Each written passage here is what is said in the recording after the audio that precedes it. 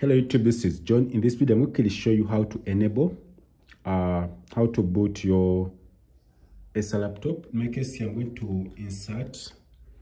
And here i'm going to show you how to you have to make sure that your boot menu the f12 boot menu is enabled. So we're going to go ahead and do that first before we do anything. So when you reach here you're going to click the arrow keys. Then you're going to go to this main and then you click the down arrow key. Then you're going to check this if it is enabled. My case it was enabled already. And you can enable that only. Then here in the boot sequence you can always go ahead and move this to the so that can boot it first. Let me go ahead and click f f6 to move it up.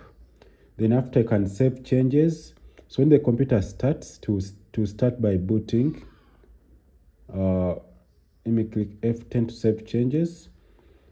So here i can click uh, f12 to go to the boot menu or it can just start automatically to load the windows files. And here i can select the usb as you can see it's the one on top. So when i click enter to ask for me to click any key so that goes to load the windows from the usb flash as you can see.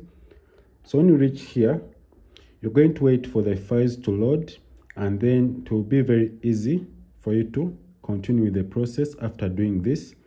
So i'm going to stop from the when this opens i'm going to stop from the installation part. Then i'll go ahead and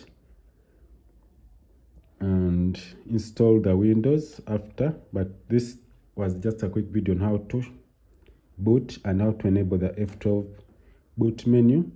So thanks for watching. If this video is helpful please subscribe like comment. If you need any help have a nice time. Goodbye